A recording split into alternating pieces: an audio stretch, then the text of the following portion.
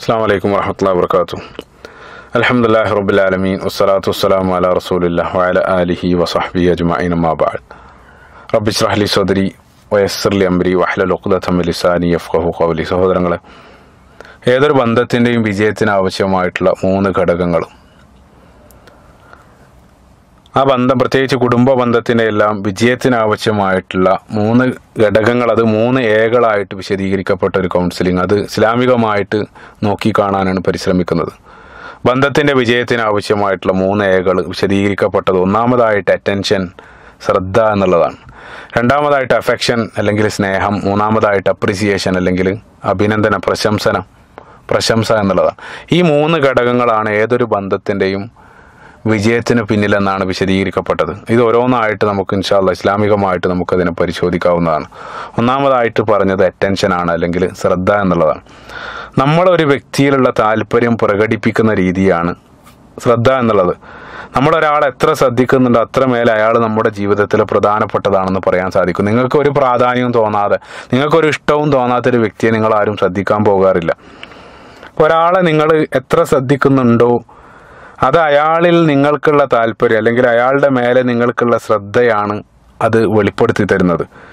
അത് അയാളുടെ മേലെ നിങ്ങൾക്കുള്ള താല്പര്യം അതേപോലെ തന്നെ അയാളുടെ മേലെ നിങ്ങൾക്കുള്ള സ്നേഹമാണ് അത് കാണിച്ചു തരുന്നത് എന്നുള്ളതാണ്. പ്രത്യേകിച്ച് ഒരാളെ ശ്രദ്ധിക്കണമെങ്കിൽ എനിക്ക് വേണ്ടത് അയാൾക്ക് സമയം നൽകണം എന്നുള്ളതാണ്.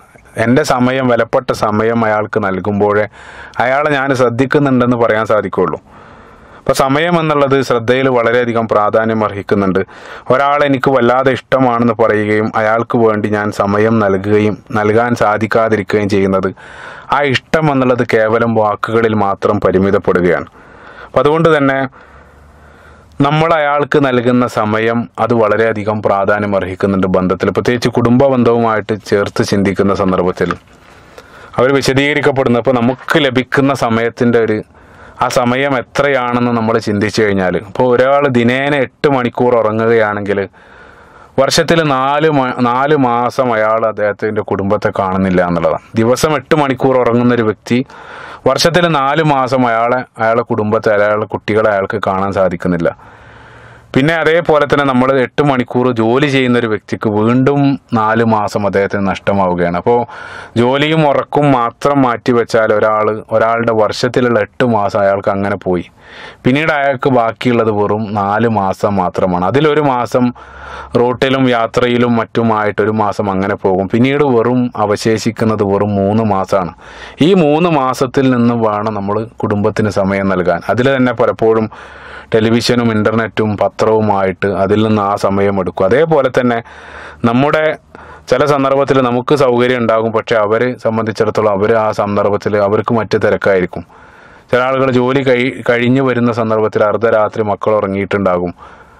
പിന്നീട് അവർ ആഴ്ചയിൽ ഒന്നോ രണ്ടോ ദിവസമാണ് മക്കളെ തന്നെ കാണുന്നത്. ഈ രൂപത്തിലുള്ള ആളുകൾ ഉണ്ടാകും. അപ്പോൾ ഈ ഒരു മൂന്ന് മാസത്തിൽ നിന്ന് വേണം അവർക്ക് സമയം ചെലവഴിക്കാൻ എന്നുള്ളതാണ്. അപ്പോൾ ആ ചെലവഴിക്കുന്ന സമയം നമ്മൾ നമ്മുടെ കുട്ടികൾ എത്ര ശ്രദ്ധിക്കുന്നുണ്ടോ അത് അവരുടെ മേൽ നമുക്കുള്ള സ്നേഹവും താല്പര്യവുമാണ്.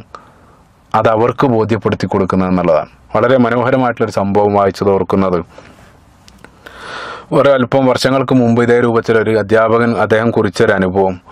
അദ്ദേഹം സ്കൂളിലുള്ള തന്റെ കുട്ടികളോട് ചെറിയ ക്ലാസ്സിലുള്ള കുട്ടികളോട് നിങ്ങൾക്ക് ഭാവിയിൽ ആരായി തീരണമെന്ന് ഓരോ ആളുകളോട് എഴുതാൻ ആവശ്യപ്പെട്ടു. അപ്പോൾ പല കുട്ടികൾ പലത് എഴുതി. ചില ആളുകൾ ഡോക്ടർ ആകണമെന്ന് എഴുതി ചില ആളുകൾ എഞ്ചിനീയർ ആകണമെന്ന് എഴുതി. അതിനിടയിൽ ഒരു കുട്ടി എഴുതിയത് എനിക്ക് ടെലിവിഷൻ ആകണം എന്നുള്ളതാണ്. വിചിത്രമായിട്ടുള്ള കുട്ടിയുടെ ആഗ്രഹം. അധ്യാപകനെ വല്ലാതെ അത്ഭുതപ്പെടുത്തി. അധ്യാപകൻ കുട്ടിയെ വിളിച്ചുകൊണ്ട് കാര്യം അന്വേഷിച്ചു. ഒരാളും എഴുതാത്ത രൂപത്തിൽ എന്തുകൊണ്ടാണ് ടെലിവിഷനായി തീരണമെന്ന് എഴുതിയതെന്ന് കുട്ടിയോട് ചോദിച്ച സന്ദർഭത്തിൽ കുട്ടി പറഞ്ഞ മറുപടി എന്റെ മാതാവും പിതാവും രണ്ടുപേരും ഡോക്ടറാണ് അവർ പകല വീട്ടിലുണ്ടാകാറില്ല. പകൽ ജോലിക്ക് പോകും. തിരിച്ചു വന്നാലും അവർ തിരക്കിലാണ് ജോലി തിരക്കിലാണ്. പിന്നീട് ഒരു അല്പസമയം രണ്ട് പേരും ഒന്നിച്ചിരുന്ന് ശ്രദ്ധിക്കുന്ന ഒരേ ഒരു സാധനം വീട്ടിലുള്ളത് ടെലിവിഷനാണ് എന്നുള്ളതാണ് സുഫാനല്ല അപ്പം അതുകൊണ്ട് തന്നെ ആ ഒരു ടെലിവിഷൻ ഞാനായിരുന്നെങ്കിൽ എന്ന് ഞാൻ ആഗ്രഹിച്ചു പോവുകയാണെന്നാണ് കുട്ടി പറഞ്ഞ മറുപടി. അപ്പോൾ നമ്മളെ ശ്രദ്ധ അവരെ ആഗ്രഹിക്കുന്നുണ്ട്. നമ്മൾ നമ്മൾ എത്ര മേൽ ശ്രദ്ധിക്കുന്നുണ്ടോ അതാണ് നമുക്ക് അവരുടെ മേലെയുള്ള സ്നേഹം അവർക്ക് ബോധ്യപ്പെടുത്തി കൊടുക്കുന്ന നബി സല്ലല്ലാഹു അലൈഹി വസല്ലമയുടെ മായിട്ട് ബന്ധപ്പെട്ട് സുബാനതായി വിഷയം നമ്മൾ പരിശോധിക്കുന്ന സന്ദർഭത്തിൽ മനോഹരമായിട്ടുള്ളൊരു മാതൃകയാണ് പ്രവാൻ സല്ലല്ലാഹു അലൈഹി വസല്ലം നമുക്ക് കാണിച്ചു തന്നത്.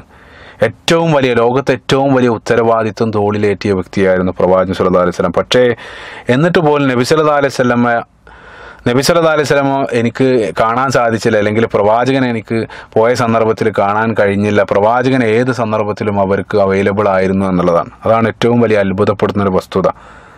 പ്രവാചകൻ സുല്ലാ അലൈഹി വസല്ലമയെ കാണാൻ പറ്റിയില്ല. അദ്ദേഹം തിരക്കിലാണെന്ന് ഒരാളും മറുപടി പറഞ്ഞതായിട്ട് എവിടെയും നമ്മൾ കാണുന്നില്ല. അതേപോലെ തന്നെ തിരിച്ചും നബി സല്ലാ അലൈഹി വസല്ലം ഒരാളോട് ഞാൻ ഇപ്പോൾ ഒരല്പം തിരക്കിലാണ് പിന്നീട് വാ എന്ന് പറഞ്ഞുകൊണ്ട് മടക്കി അയച്ചതായിട്ടുള്ള ഒരു സംഭവം പോലും നമ്മൾ കാണുന്നില്ല എന്നുള്ളത്. സുബാനുള്ള എത്രത്തോളം എന്ന് വെച്ചാൽ വളരെ മനോഹരമായിട്ട് മറ്റൊരു സംഭവത്തിൽ അടിമ സ്ത്രീ വന്നുകൊണ്ട് പ്രവാചകൻ സുല്ലാ അലൈഹി വസല്ലമയോട് പരാതി പറയാൻ വന്ന സന്ദർഭത്തിൽ നബി സുല്ലാ അലൈഹി വസല്ലം പറയുന്നുണ്ട് നിന്റെ പരാതി കേൾക്കാൻ ഈ മദീനയുടെ ഏത് ഭാഗത്തേക്ക് വരാനും ഞാൻ സന്നദ്ധനാണെന്ന്. നബി സല്ലാ അലൈഹി വസല്ലം മറുപടി പറയുന്ന മനോഹരമായിട്ടൊരു സംഭവം നമുക്ക് കാണാൻ സാധിക്കും.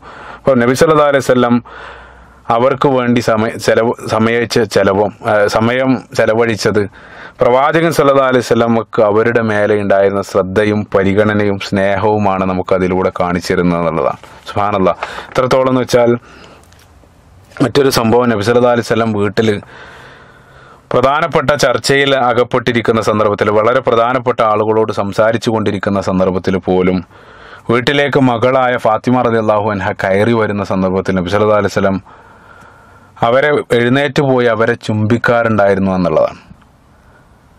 ഏതൊരു സമയത്ത് വിവാഹം കഴിഞ്ഞതിന് ശേഷവും ഫാത്തിമ റദില്ലാഹു അൻഹ വീട്ടിലേക്ക് വരുന്ന സന്ദർഭത്തിൽ നബി സല്ലല്ലാഹു അലൈഹി എഴുന്നേറ്റ് പോയിട്ട് അവരെ ചുംബിക്കുമായിരുന്നു. പല സന്ദർഭത്തിലും ഫാത്തിമ റളിയല്ലാഹു അൻഹക്ക് നാണം തോന്നുമായിരുന്നു. ഞാൻ ഇത്രയും ആളുകൾക്കിടയിൽ നിന്ന് നബി സല്ലാ അലൈഹി സ്വലം ഈ പ്രവൃത്തി ചെയ്യുന്ന സന്ദർഭത്തിൽ അവർക്ക് നാണം തോന്നാറുണ്ടായിരുന്നു എന്ന് പോലും നമുക്ക് കാണാൻ സാധിക്കും. സുബാനല്ല അതേപോലെ തന്നെ പ്രവാചകൻ സല്ലാ അലൈഹി സ്വലം കുട്ടികളുമായിട്ട് ഇടപഴകിയ സന്ദർഭത്തിൽ ഹുത്തുബ നടക്കുന്ന സന്ദർഭത്തിൽ പോലും പേരക്കിടാങ്ങളെ കണ്ട സന്ദർഭത്തിൽ പ്രവാചകൻ സല്ലാ അലൈഹി സ്വലം ആ ഹുത്തുബ നിർത്തിവെച്ച് അവരെ പോയി അവരെ എടുത്തുകൊണ്ടുവന്ന് അവരെ ചുമലിൽ ചുമലിൽ ഏറ്റിക്കൊണ്ടാണ് പിന്നീട് ഹുത്തുബ ആരംഭിക്കുന്നത്. അപ്പോൾ പ്രവാചൻ സല്ലാ അലൈഹി വസല്ലം അവർക്ക് നൽകിയ സമയം അവർ അവരോട് കാണിച്ച ശ്രദ്ധ അത് വളരെ കൃത്യമായിട്ട് ഈ സംഭവങ്ങളെല്ലാം വരച്ച് കാണിക്കുന്നുണ്ട്. അപ്പോൾ ഇതുമായിട്ട് ബന്ധപ്പെട്ട് തന്നെ അവർ വിശദീകരിക്കാറുള്ളത് ഒരാളെ പരിഗണിക്കുക അല്ലെങ്കിൽ ഒരാളെ ശ്രദ്ധിക്കുക എന്നുള്ളത് ഇന്ന് രണ്ട് രൂപത്തിൽ അതിനെ വിശദീകരിക്കുന്നുണ്ട്. ഒരാൾക്ക് സമയം നൽകുക എന്നുള്ളത് രണ്ട് തരമുണ്ട്. ഒന്നാമതായിട്ട് ഫിസിക്കൽ ടുഗദർനെസ് അല്ലെങ്കിൽ ശാരീരികമായിട്ടുള്ള ഒത്തുചേരൽ രണ്ടാമതായിട്ട് ഇമോഷണൽ ടുഗദർനെസ് അല്ലെങ്കിൽ മാനസികമായിട്ടുള്ള ഒത്തുചേരലാണ്. ഇന്ന് നമ്മൾ പലപ്പോഴും കാണാറുള്ളത് ശാരീരികമായിട്ടുള്ളൊരു ഒരു ഒരു ഒത്തുചേരൽ ഇന്ന് പലപ്പോഴും ഉണ്ടാകാറുണ്ട്. പക്ഷേ മാനസികമായിട്ടുള്ളൊരു ഒത്തുചേരൽ ഇന്ന് നഷ്ടപ്പെട്ടുകൊണ്ടിരിക്കുകയാണ്. ഒരാളെ പരിഗണിക്കുക എന്ന് പറയുമ്പോൾ മാനസികമായിട്ട് അദ്ദേഹത്തിനെ മനസ്സുകൊണ്ട് ശ്രദ്ധിക്കാൻ സാധിക്കണം എന്നുള്ളതാണ് അല്ല അല്ലാതെ ചില ആളുകൾ നമ്മൾ കാര്യമായിട്ട് ഒരാളോട് സംസാരിക്കുന്നുണ്ടോ പക്ഷേ അയാളുടെ മനസ്സ് വേറെ ഏതോ സ്ഥലത്തായിരിക്കും.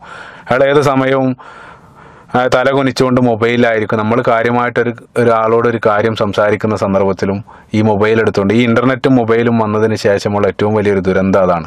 മാനസികമായിട്ട് നമ്മളെ ഒരുപാട് അകറ്റി എന്നുള്ളതാണ്. മൊബൈലിനെ സംബന്ധിച്ച് അവർ പറയാറുള്ളത് തമാശയായിട്ട് പറയാറുള്ളത് അത് അകലെയുള്ള ആളുകളെ നിങ്ങളിലേക്ക് അടുപ്പിക്കും പക്ഷേ അതേസമയം അടുത്തുള്ള ആളുകളെ നിങ്ങളിൽ നിന്ന് ഒരുപാട് അകറ്റുമെന്നാണ് അതിനെ സംബന്ധിച്ച് പറയാറുള്ളത്. വളരെ വലിയൊരു യാഥാർത്ഥ്യമാണ്.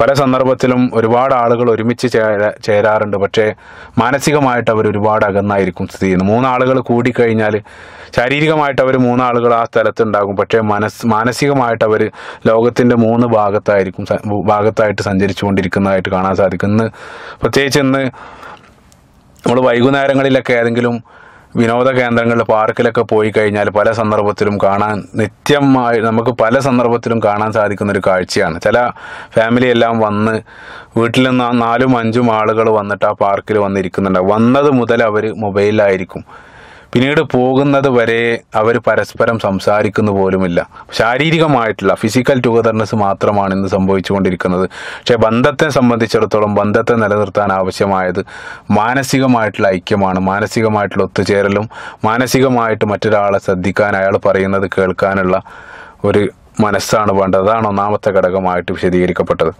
രണ്ടാമതായിട്ടുള്ളത് ഒന്നാമത് ഞാൻ നേരത്തെ സൂചിപ്പിച്ചു ശ്രദ്ധ എന്നുള്ളതാണ്. രണ്ടാമത്തെ ഘടകമായിട്ട് പറയുന്നത് അഫെക്ഷൻ ആണ് അല്ലെങ്കിൽ സ്നേഹം എന്നുള്ളതാണ്.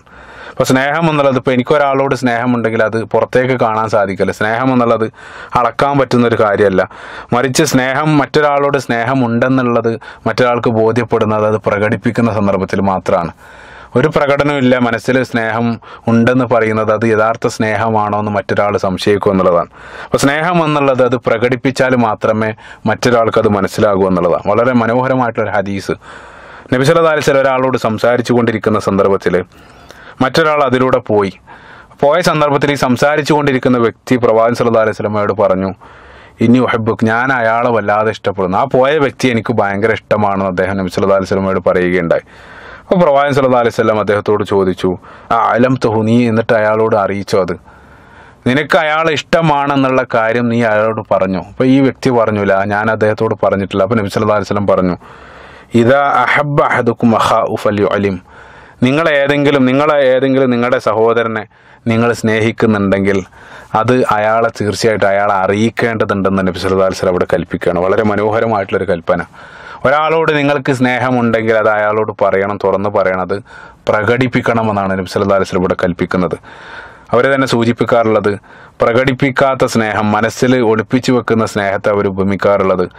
ഏറ്റവും നല്ലൊരു ഗിഫ്റ്റ് നമ്മൾ വാങ്ങിയിട്ട് അത് നന്നായിട്ട് പൊതിഞ്ഞ് മനോഹരമായിട്ട് അതിന് പൊതിഞ്ഞ് വെച്ച് ആ ഗിഫ്റ്റ് നൽകാതിരിക്കുന്നതിനെയാണ് നിൽ- നൽകാതിരിക്കുന്നത് പോലെയാണ് മനസ്സിലുള്ള സ്നേഹം പ്രകടിപ്പിക്കാതിരിക്കുന്നതെന്നാണ് അവർ പറയാറുള്ളത്. നബി സല്ലല്ലാഹു അലൈഹി വസല്ലം തന്നെ മറ്റൊരു സംഭവം. സ്നേഹത്തിന്റെ പ്രകടനത്തിന്റെ ഏറ്റവും നമ്മൾ കാണുന്ന ഒരു രൂപമാണ് ഉമ്മ ചുംബിക്കുക എന്നുള്ളത്. നബി സല്ലല്ലാഹു അലൈഹി വസല്ലം ഒരിക്കൽ തന്റെ കുട്ടികളെ ചുംബിച്ചത് കണ്ട സന്ദർഭത്തിൽ ഒരു അറാബിയായിട്ടൊരു മനുഷ്യന് വന്നുകൊണ്ട് അദ്ദേഹം പറഞ്ഞു പ്രവാചകർ എനിക്ക് ഒമ്പത് കുട്ടികളുണ്ട് ഞാൻ ഇന്ന് വരെ അവരെ ചുംബിപ്പിച്ച് ചുംബിച്ചിട്ടില്ല എന്ന് നബി സല്ലല്ലാഹു അലൈഹി വസല്ലമയോട് പറഞ്ഞ സന്ദർഭത്തിൽ നബി വസല്ലം അദ്ദേഹത്തോട് പറയുന്ന മറുപടി നിങ്ങളുടെ ഹൃദയത്തിൽ നിന്ന് അള്ളാഹു കാരുണ്യം നീക്കിയാൽ അത് എനിക്ക് നൽകാൻ സാധിക്കുമോ? എന്നാണ് പ്രവാചകൻ സല്ലല്ലാഹു അലൈഹി വസല്ലം തിരിച്ചു ചോദിച്ചത്. വളരെ മനോഹരമായിട്ടുള്ള മറ്റൊരു ഹദീസ് ആയിഷ റതി അള്ളാഹു അൻഹയിൽ നിന്ന് ധരിക്കുന്ന മറ്റൊരു ഹദീസ് ആയിഷ റതി അള്ളാഹു അൻഹ നബി സല്ലാ അലൈഹി സ്വലമയോട് ചോദിക്കാറുണ്ടായിരുന്നു. കൈഫ ഹബ്ബു കലി എന്നോടുള്ള സ്നേഹം ഇപ്പോൾ എങ്ങനെ ഇരിക്കുന്നു? നിങ്ങൾക്ക് എന്നോടുള്ള സ്നേഹം ഇപ്പോൾ എങ്ങനെ ഇരിക്കുന്നു? അപ്പോൾ പ്രവാൻ സല്ലാ അലൈഹി സ്വലം ഒരിക്കലും മറുപടി പറഞ്ഞു ഹൂവക്കൽ കൽ ഉഖദ്. എനിക്ക് അത് ഒരു ഊരാങ്കുടുക്ക് പോലെയാണ് അതല്ലെങ്കിൽ അത് ശക്തമായിട്ടുള്ള ഒരു ബന്ധനം പോലെയാണ് അത് ഇരിക്കുന്നത്. ഒരിക്കലും ശക്തമായിട്ടുള്ള ഒരു ഊരാങ്കുടുക്ക് പോലെ അതെന്റെ മനസ്സിലുണ്ടെന്ന് പ്രവാചൻ വസല്ലം മറുപടി പറഞ്ഞു. പിന്നീട് ആയിഷ അലി അള്ളാഹു അൻഹ നിരന്തരം പല സന്ദർഭങ്ങളിലായിട്ട് പ്രവാചൻ വസല്ലമയോട് ചോദിക്കുമായിരുന്നു യാ റസൂലുള്ള കൈഫ ഹാല ലോക്കത് ഇപ്പോൾ ആ കെട്ട് എങ്ങനെ ഇരിക്കുന്നു? അതായത് നിങ്ങൾ അന്ന് പറഞ്ഞ ആ കെട്ട് ഇപ്പോൾ ഏത് രൂപത്തിലാണ് നിങ്ങളുടെ മനസ്സിലുള്ളതെന്ന് നബി അലൈഹി വസല്ലമയോട് തമാശയായിട്ട് ചോദിക്കാറുണ്ടെന്ന് അപ്പോൾ പ്രവാചകൻ സല്ലല്ലാഹു അലൈഹി വസല്ലം പല സന്ദർഭത്തിലും മറുപടി പറയാറുണ്ടെന്ന്. ഹിയ കാമ ഹിയ കമാ ഹിയ.